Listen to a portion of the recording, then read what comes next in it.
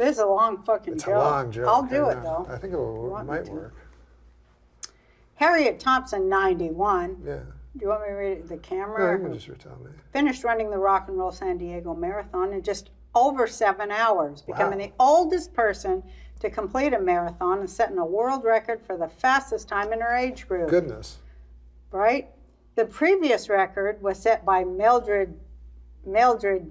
I already Ken- fucked was it up. Mildred I gotta start all over. The previous record was set by Mildred Kenilworth, who died during mile one. Oh, goodness.